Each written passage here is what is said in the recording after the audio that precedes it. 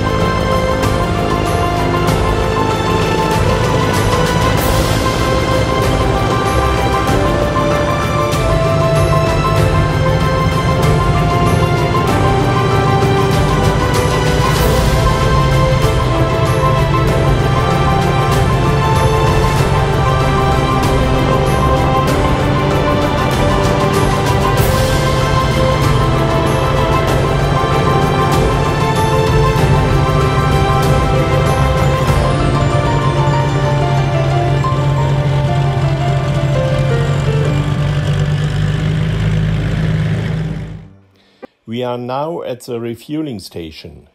Each side gets only 15 gallons today.